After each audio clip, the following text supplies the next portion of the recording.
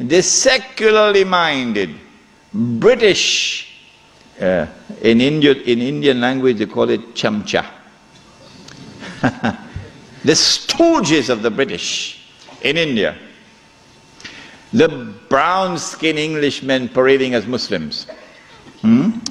of whom the prince of them all was the grandfather of the present Aga Khan, Karim Aga Khan's grandfather.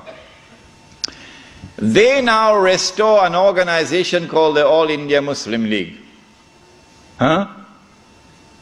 The All India Muslim League is led by men who don't know Islam and don't live Islam. And these are the people who now wage a struggle for the liberation of the Muslims from British rule to be replaced, not with rule of Islam, oh no, but rather by the rule of the secular Republic of Pakistan and the secular Republic of India. So that Pakistan and India could be embraced within the community of secular nation states.